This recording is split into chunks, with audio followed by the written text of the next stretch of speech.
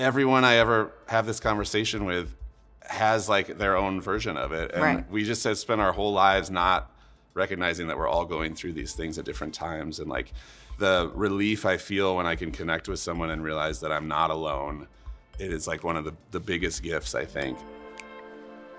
I'm Sarah Hicks, principal conductor of Live at Orchestra Hall with the Minnesota Orchestra. Anxiety has been with me for most of my life.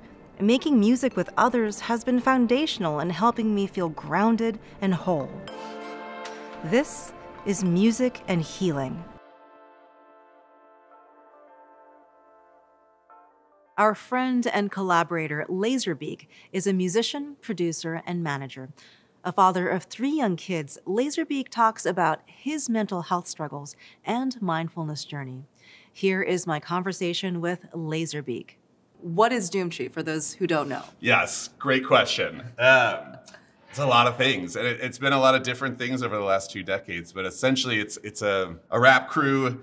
We're also seven solo artists. We're a record label. We just exist almost as a way to support one another's creative endeavors and dreams. You wear so many hats, which is amazing and fulfilling, but it's also got to be really stressful. So, can you kind of talk to stress Yeah. as anx- and anxiety, how Yeah. it's a part of what you do and so your experience with that? Yeah. I started out really just wanting to to write music, release music, and and so with Doomtree, we started out as just a crew of like-minded friends who were kind of learning how to create music together. And then coming up in in Minnesota, there's not a ton of infrastructure, so oh, there's no label that'll put out our album. I guess we have to. Fig- I guess we are the label. So we mm. start a label, and then we figure out how to how to press CDs back in the day, and like figure out how to book the shows and all that. And every time there was a new thing or a new hurdle, I just was so excited that I would raise my hand and say like, no idea, but I'll, I'll try to figure that mm-hmm. out. And then as we're slowly getting more success, you know, there's, there's constantly more things that are coming up. We were putting on this huge festival that we called the Doomtree Zoo. It was in the St. Paul Saint Stadium. Mm-hmm. And I just kind of bit off more than I could chew. And it was nine months of like combination of no sleep and just like the load piling up. And I, I didn't know what I was experiencing. Like I wasn't sleeping and I knew that I was feeling like my body felt like it was on fire. Um, and I just didn't I- I felt like a kind of a shell of myself. I couldn't focus. I was I was losing sensation in my limbs like um, and I was freaking out and, and you know we got through the show and I thought everything would would go back to normal when the show was over and it didn't. I still experienced those feelings and I finally went and talked to my doctor and God bless her, she was just like, okay. She talked to me about like, you know, as humans, like we're we're good at dealing with a lot of stress. It's actually kind of healthy to have a decent amount of stress, and we can we can handle it. Um, but if it's like a roller coaster, we want to be like right here before the top. And she's like, and you just kind of went here. So we got to bring you back over here. Uh-huh. And I just remember like crying, of course, and Yeah. being like, I, I, no one had ever explained it to me. She's like, you're dealing with extreme anxiety. Um, and so I had, uh, that was like this breakthrough moment. That was about probably seven years ago. And a combination of getting on some kind of low dose anti anxiety medication and then also for the first time kind of exploring mindfulness. And for me, it was meditation that, that was like life changing, I guess, started me on my mindfulness journey.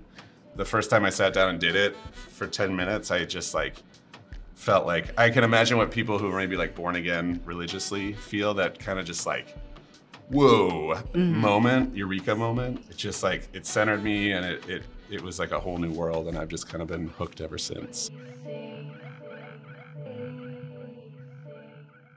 I think meditation looks different for all people, but taking that time out to check in with yourself and to just kind of pull yourself out of the like hustle and bustle of our insane lives. Every single one of us have insane lives right now. And just to like reconnect with yourself is, I think, the goal.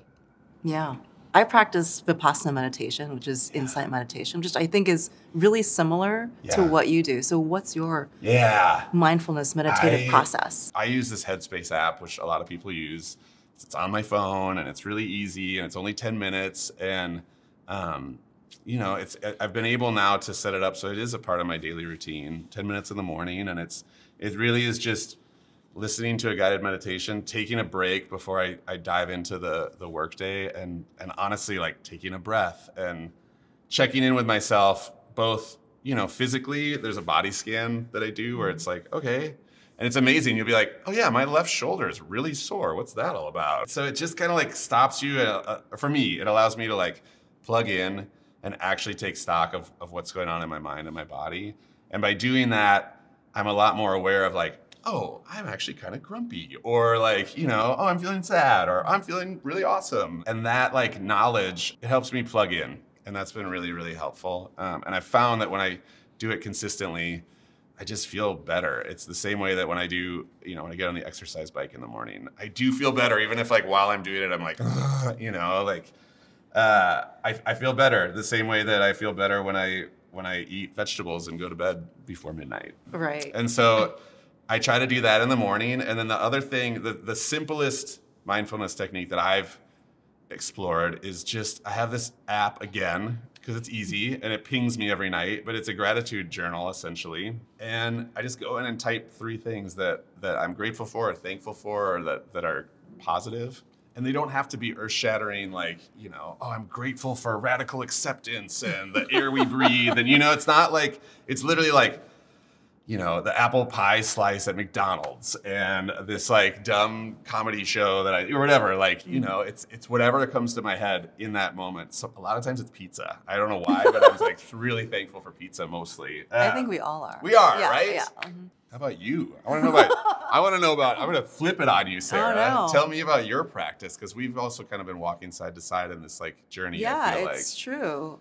I started, I guess, the serious study of Vipassana maybe in 2008 or 9. So it's been Yeah. a slightly longer journey, but I think those journeys aren't linear in a way. And I find myself, as busy people do, speaking of, oh, I don't have time for it, Yeah. feeling like that happens even now, even though it's part of, I think, integrated into me and my practice as Yeah. part of my life, I will not be able to do it for days on end just because there it feels like there are time constraints. Yeah. But I love this idea that it's like the the gratitude journal, you're actually creating like a neural groove Yes. right? And all of it, because we have these maladaptive neural grooves, which like oh. lead us down the wrong path Okay. that we establish because of the past or trauma or just behavior or not knowing how to cope with stress. Yeah. But we're creating the, the ones that lead us down The the, good, good path, right?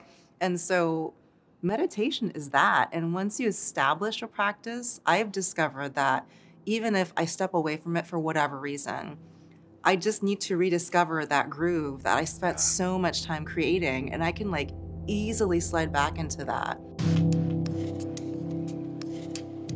I've always been known for making what I call lava bangers, which are just mm-hmm. like everything in the kitchen sink, you know, just like make you scrunch your mm-hmm. face up and bang your head type music. Um, and that's what people had come to know me for. And I was like, I love doing this, but how do I like try to express musically the like the sense of peace that I'm feeling from kind of this the beginning of this new lifestyle? And I kind of set out to create an album that would be almost be the 180 of what I've always done in the past.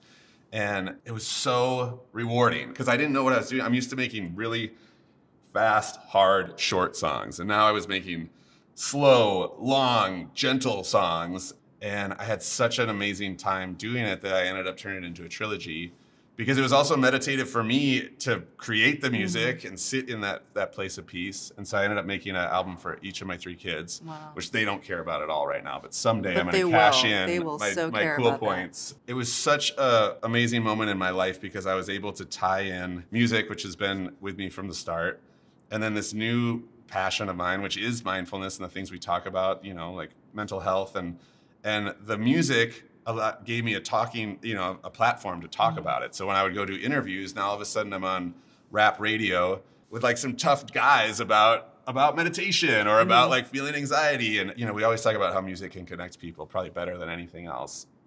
And here it was again doing like the heavy lifting for me to get me in the room to have the conversations um, and i've just found that so powerful so that's one of the biggest moments in my life was, was releasing those albums and just being able to to tie in my journey with my musical journey Be a part of Music and Healing. Engage in our collection of conversations and share your feedback at minnesotaorchestra.org/healing.